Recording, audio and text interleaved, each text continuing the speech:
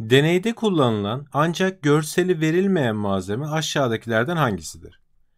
Kum, su ve alkol karışımını bileşenlerini ayrıştırma işleminde balon jojedeki balon joje buradaki şu malzeme balon jojeyi burada temsil ediyor. Karışım bunzenbek bunzenbek şuradaki ısıtıcı ve saç ayağı saç ayağı da şu malzeme yardımıyla ısıtılırken termometre ile sıcaklığı takip edilir diyor ama burada bir termometre görseli yok. Termometre görseli yok. Soğutucu camdan gelen şu soğutucudur. Soğutucu. Soğutucu camdan gelen alkol buharları sıvılaşarak Erlen Mayer'de. Erlen bu da Erlen Mayer'dir burada. Toplanır. Balon jojede kalan sıvı, kalan sıvı kum karışımı huniye yerleştirilerek bu hunidir.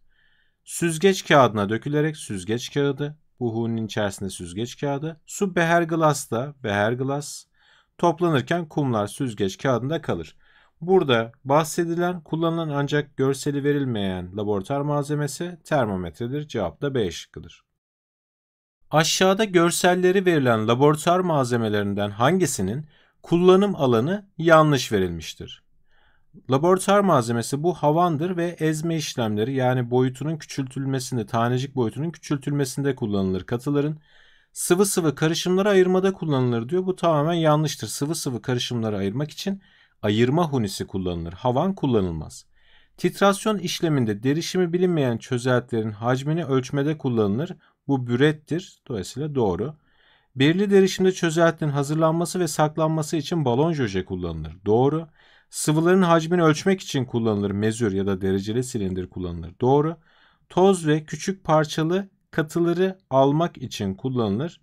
Buradaki malzeme kullanılır bunun içinde. Bunun adı da spatüldür. Dolayısıyla E şıkkı da bu anlamda doğrudur. Yukarıdaki madde çiftlerinden hangilerinin etkileşimi asit baz tepkimesidir? Çamaşır suyu bazik bir maddedir. Tuz ruhu asidik bir maddedir. Dolayısıyla bu bir asit baz tepkimesidir. Kireç çözer. Şimdi kireç bazik bir madde. Kireç çözer ise asidik bir maddedir ve lavabo açıcı da bazik bir maddedir. Lavabo açıcı. Dolayısıyla bu da bir asit baz tepkimesidir. Yağ çözücü. Şimdi yağ asidiktir. Yağı çözen madde baziktir. Kireç çözer. Kireç baziktir. Kireç çözer de dolayısıyla asidiktir. Dolayısıyla bu da bu durumda yağ çözücü ve kireç çözer bir asit baz tepkimesi olur karıştırılırsa. Dolayısıyla üçü de asit baz tepkimesidir. Tablet klorlar genel olarak kalsiyum hipoklorit CaClO2 içerirler. Hastane yüzeylerinin dezenfekte edilmesinde havuz dezenfektanı olarak ve içme suyu dezenfektanı olarak kullanılabilir. Bu kullanımların her birinde suya karıştırılması gereken oransal miktarları birbirinden farklıdır.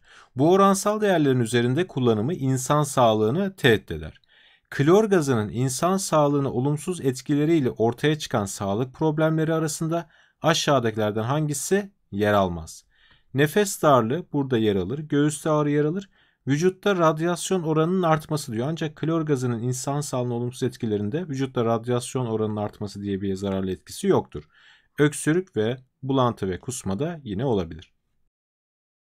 Günlük yaşamda kullandığımız çamaşır suyu NaClO, sodyum hipoklorit ve tuz ruhu hidroklorik asit kimyasallarının birbirine karıştırarak kullanılmasıyla oluşan reaksiyonun denklemi aşağıda verilmiştir. Çamaşır suyuyla tuz ruhunu karıştırırsak tuz su açığa çıkar bir de yanında zehirli klor gazı açığa çıkar.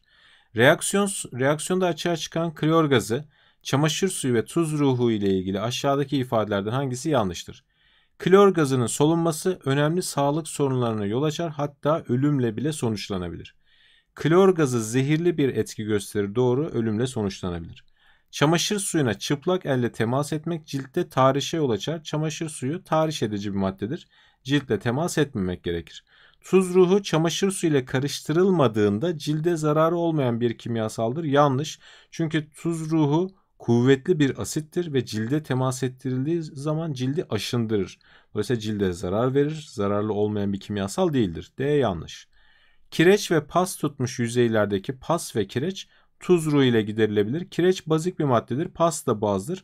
HCl'de asit olduğu için asit baz tepkimesiyle giderilebilir. E şıkkı da doğrudur. Yaygın adı sut kostik olan NaOH sodyum hidroksit bileşiğinin sulu çözeltisi hangi amaçla kullanılabilir? Sodyum hidroksit bazik bir maddedir. Bazik bir maddedir. Yağ çözücü olarak kullanılabilir. Çünkü yağ asidiktir. Dolayısıyla yağ çözücü olarak bazik bir madde asit baz tepkimesi anlamında kullanılabilir. Kireç çözer olarak kireç bazik bir maddedir. Kireci çözmek için asidik bir madde kullanılması lazım. Bazik bir madde olan sodyum hidroksit kullanılmaz. Lavabo açıcı olarak yine lavabolar tıkandığı zaman lavaboda yine yağlarla tıkanır veya saç veya kıllarla vesaire tıkanır. Burada lavabo açıcı olarak bazik bir madde olan sodyum hidroksit kullanılır. Dolayısıyla bu da olur. 1 ve 3 burada kullanılır. Cevap da C şıkkıdır. Evlerde fayans, lavabo ve seramiklerde şebeke suyundan kaynaklanan kireç, kalsiyum karbonat artıkları birikir. Bu artık kireçleri çözmek için kireç çözer olarak hangileri kullanılabilir? Şimdi bu kireç, bu artık olarak biriken kireç bazik bir maddedir. Dolayısıyla karşısına asidik bir madde kullanılırsa kireç çözülebilir. Dolayısıyla kireç çözer olarak asidik maddeler kullanılır. Nitrik asit dolayısıyla kullanılabilir. Hidroklorik asit kullanılabilir. Ancak sodyum hidroksit zaten bazik bir maddedir. Baz bazı çözmez. Dolayısıyla bu kullanılamaz. 1 ve 2 burada kullanılır. Cevap da C şıkkıdır.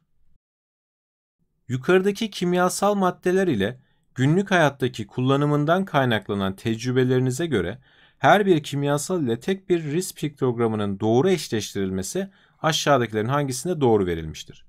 Şimdi lavabo açıcı olarak sodyum hidroksit kullanıyoruz. Kuvvetli bir baz kullanıyoruz. Kireç çözer olarak. Şimdi kireç bir bazdır. Kireci çözmek için asit kullanılır. Kuvvetli asitler burada kullanılır. Civa da ağır bir metaldir.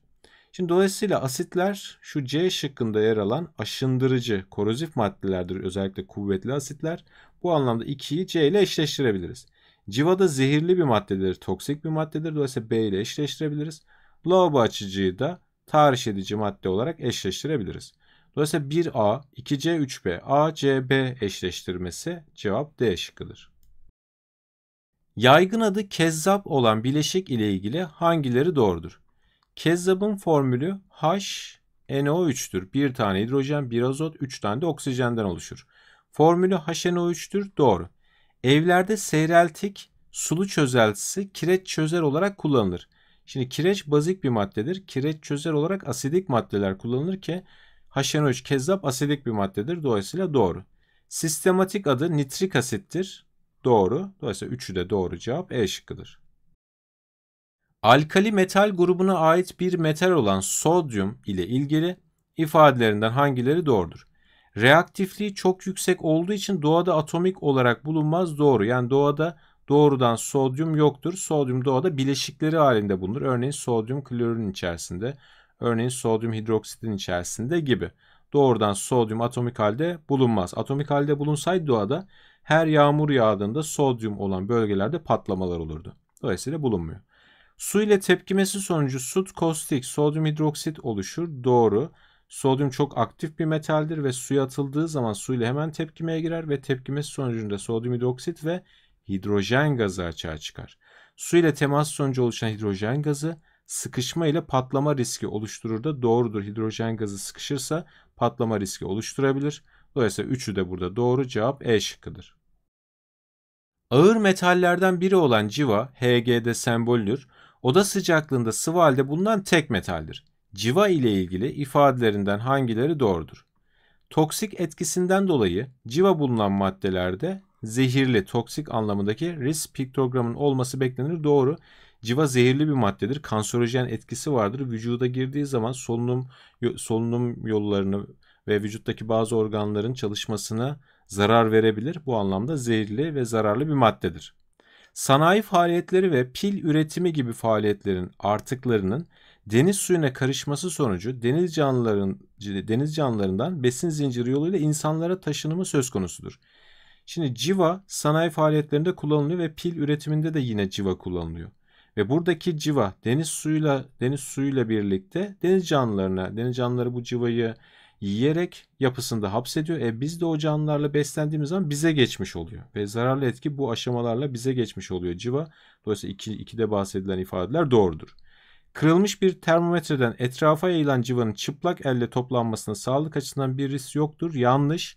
Kırılmış bir termometre gidip elle toplanmaz. Çünkü civa orada zararlıdır. Civanın üzeri başka maddelerle kaplanır. Üzerine atılır. Çünkü civa sıvı olarak buharlaşabilir. Ve buharı da soluyduğumuz zaman iki de bahsettiği zararlar oluşabilir. Yani zararlı etkiler olabilir. Dolayısıyla çıplak elle toplanmaz. Dolayısıyla 3 burada yanlıştır. 1 ve 2 doğrudur. Cevap B şıkkıdır.